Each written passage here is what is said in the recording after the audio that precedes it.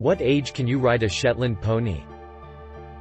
At Shetland Pony Club the minimum age you can ride a Shetland pony is 2 years and 6 months old. From the age of two and a half years old most children have the core strength to sit upright and enjoy a ride on a miniature Shetland pony, on the lead rein.